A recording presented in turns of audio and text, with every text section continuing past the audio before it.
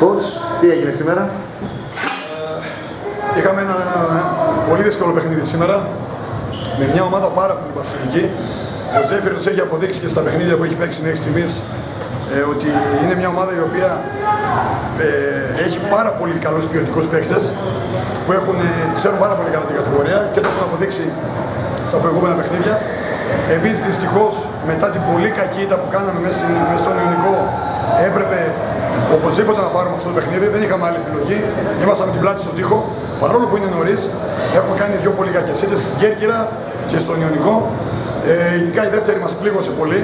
Ήταν μια, ένα παιχνίδι που δυστυχώς το χάσαμε. Έπρεπε να το κερδίσουμε οπωσδήποτε ανεξάρτητα εμφάνισης. Αυτή τη στιγμή το έχω ξαναπεί. Αυτό που θέλουμε είναι να παίρνουμε τα παιχνίδια, τα ροζ φιλαγώνα για να συνεχίσουμε. Δεν είμαστε ακόμα θεμένοι. Έχουμε αρκετά, ε, αρκετά πράγματα να λύσουμε στο κήπεδο. Αυτό βέβαια είναι δικό μας θέμα.